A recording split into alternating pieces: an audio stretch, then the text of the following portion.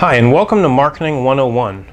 This is my marketing blueprint that will show you the basics and fundamentals of marketing, of how to market your cash-based physical therapy practice.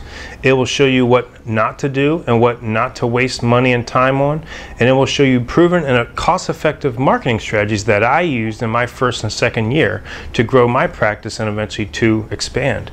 It will show you how to sell physical therapy. You need to learn how to sell your product or service.